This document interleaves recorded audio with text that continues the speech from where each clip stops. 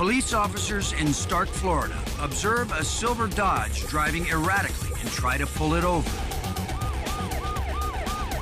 The suspect, with two passengers in the car, tries almost anything to shake the pursuit. He commits just about every violation in the book.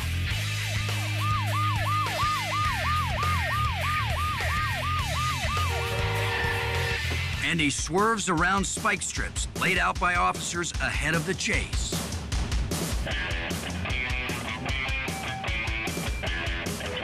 At a busy intersection, he dodges stopped traffic and runs a red light.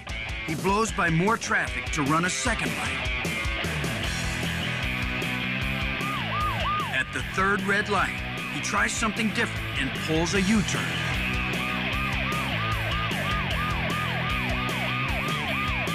He fights off an attempt by another officer to force him off the road. It's only a matter of time before it comes to a bad ending.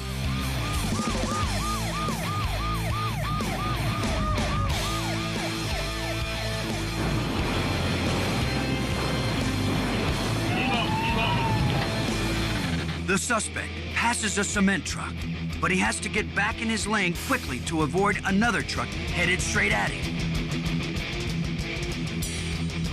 He careens out of control and off the road.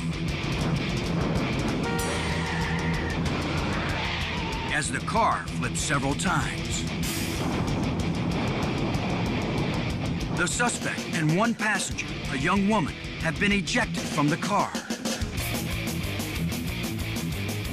A third young man in the front passenger seat leaps out. But he's quickly put under arrest. All three occupants of the car survived this terrifying crash. And the charges show that this driver had little cause to be on the road at all, driving with a suspended license, no registration, no insurance, and multiple moving violations including reckless driving, to put it mildly.